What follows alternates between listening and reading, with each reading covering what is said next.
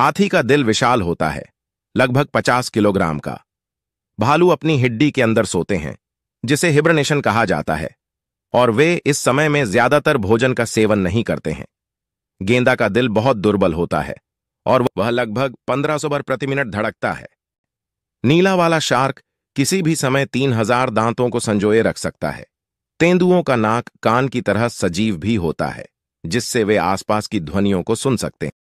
ऐसा ही वीडियो देखने के लिए हमारे चैनल को सब्सक्राइब ज़रूर कर लें।